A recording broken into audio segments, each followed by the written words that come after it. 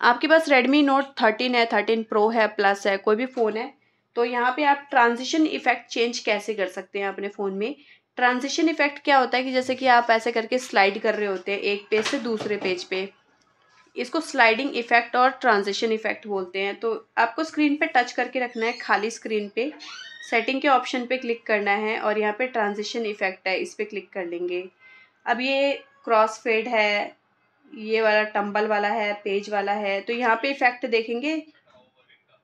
Card है rotate है cube है। तो यहाँ पे मैं क्यूब वाला लगा के डन पे क्लिक कर लेती हूँ। तो देख सकते हैं, अब मैं यहाँ पे स्लाइड कर रही हूँ तो एक अलग ही इफ़ेक्ट आपको देखने को मिलता है। है ना? तो ऐसे करके आप यहाँ पे चेंज कर लेंगे। देख सकते हैं, ये हो गया, ये हो गया। मिलते हैं नेक्स्ट वीडियो में तब तक के लिए नमस्कार।